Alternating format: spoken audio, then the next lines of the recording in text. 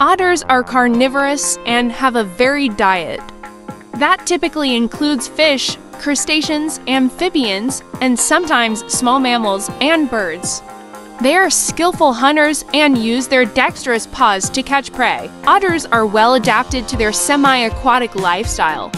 They have webbed feet, a streamlined body, and a layer of insulating fur that helps them stay warm in water.